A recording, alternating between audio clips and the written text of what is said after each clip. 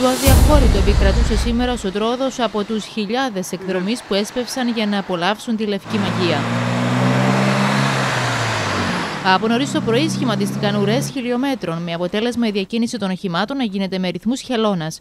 Χαρακτηριστικές είναι οι δηλώσεις του γραμματέα του Κοινοτικού Συμβουλίου Τροόδους, Πανίκου Χατζικοφίνα, για την κατάσταση που επικρατούσε το μεσημέρι στην πλατεία Τροόδους. Έναν υπολογισμό που έχουμε κάνει από την πλατεία πρέπει να περάσει σήμερα μέχρι τώρα που μιλούμε πέραν από τις 15.000 κόσμου.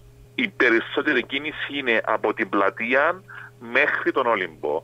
Επιποδός ήταν σήμερα και δεκάδε αστυνομικοί της Τροχέας αλλά και των τοπικών αστυνομικών σταθμών, οι οποίοι από νωρίς πήραν θέσεις σε κύρια σημεία του δικού δικτύου για ρύθμιση της κυκλοφορίας των οχημάτων και για πρόληψη των δυστυχημάτων. Μεγάλη κόσμος ηρωή από όλα τα μέρη της Κύπρου και λεωφορεία και οποιοδήποτε είδος αυτοκινήτου αν θέλετε. Όλες οι επαρχίες οι εμπλεκόμενες, Λεμεσός, Μόρφου, Λευκοσία και η αστυνομική διεύθυνση της Τροχέας του Αρχηγείου Αστυνομίας εμπλέκονται στο σχέδιο ενέργειας για να βοηθήσουν τους εκδρομείς να μεταβούν στο Τρόδος αλλά και να επιστρέψουν. Στο Τρόδος βρέθηκαν σήμερα και αρκετά λεωφορεία με εκδρομείς από διάφορες περιοχές της Κύπρου.